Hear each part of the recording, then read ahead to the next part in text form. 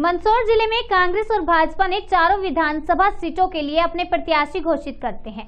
प्रत्याशियों की घोषणा होने के बाद ही दोनों ही पार्टियों में विरोध के स्वर उठने लगे।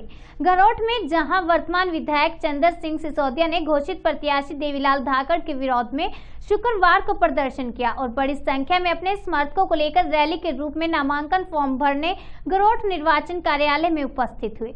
दूसरी ओर सुवासरा में कांग्रेस प्रत्याशी वर्तमान विधायक हरदीप सिंह के खिलाफ जिला कांग्रेस के कार्यवाहक अध्यक्ष भौम सिंह भाटी ने मोर्चा खोल दिया है। उन्होंने अपनी बड़ी संख्या में समर्थकों के साथ सीतामऊ में नगर पालिकाओं में विरोध प्रदर्शन किया और बाद में वे नामांकन फॉर्म भरने निर्वाचन कार्यालय पहुँचे। दूसरी ओर मेलाहरगढ़ में शक्ति प्रदर्शन कांग्रेस और भाजपा दोनों ही पार्टी के प्रत्याशी कर रहे हैं। यहाँ दोनों ही पार्टी के प्रत्याशी आमजन के बीच बाहुबली के रूप में प्रेषित करने में कोई कसर नहीं छोड़ रहे।